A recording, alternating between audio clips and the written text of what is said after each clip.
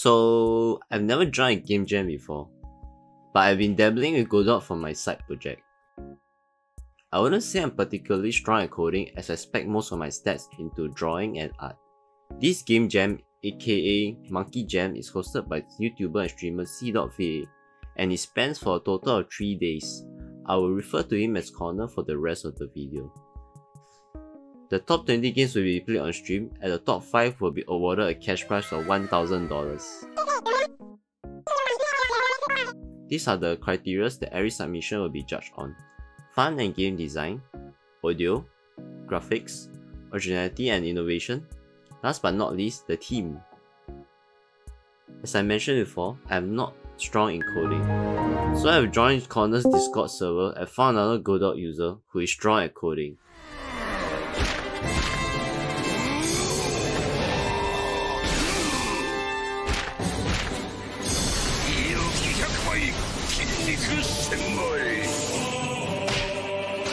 Hmm?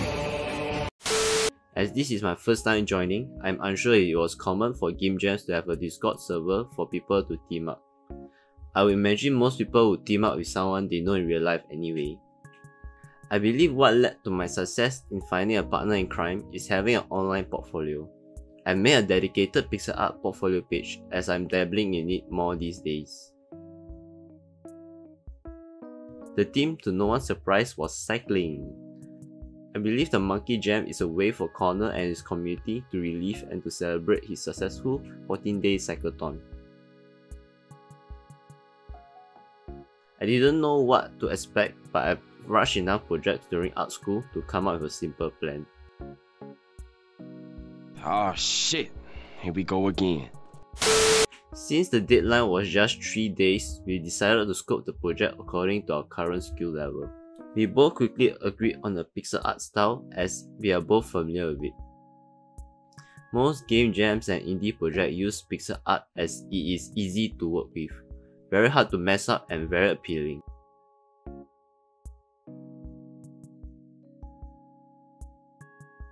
Our game draws heavy inspiration from Google Chrome's dinosaur game with inclusion of vehicle platforming action using arrow keys. We planned for a skill that clears all vehicles using voice activation but opted for using the spacebar instead. For art direction, I decided to give the overall game a really purplish look to reference the color of the Trash Taste podcast, except for the monkey and the collectibles. It gave the whole game a synthwave vibe which makes the background music an obvious choice. To add some replayability, we added a shop that trades collectibles for power-ups. The star of the show is the clown monkey that I've created, referencing the mascot monkey that Connor so often uses for his stream. I really wanted to add some clown elements as it adds to the toy-like look and it is the only way I can clown a Trash Taste for their clown takes. Some fun facts about the game is that the tofu car is from Initial D and the truck is some generic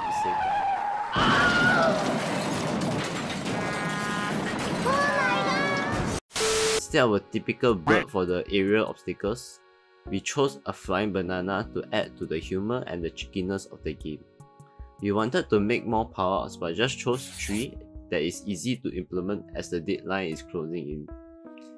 Things went according to plan as I continued to lose sleep animating the thumbnail and drawing Ironmouse in her shop. Our effort paid off as we ranked 14 among the 151 submissions. Even though we didn't win, it was a fruitful experience for both of us. Lady Luck was smiling at us, and our game was the first to be played in the stream. Okay, wow, the animation is sick on the jump. I like that. I gotta get the cinnamon rolls. Do I have to avoid those things in the air? I was grateful that my first game jam was with the CDawgVA community. They were very kind, sweet, but honest about our game during the voting process. Here are some tools we have used to help with collaborating online. GitHub for collaborating on Godot and FigJam for brainstorming and using it as a virtual whiteboard. If you are using GitHub to collaborate, make sure you have tested with your partner before the game jam and make sure that everyone knows how to use it. If you're keen to participate in a game jam, go download any free game engine and go play some games on itch.io. Most game jams, if not all the game jams, are held there. If you're interested in playing the game, the link is in the description box below.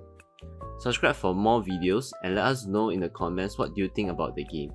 Okay, thanks, bye.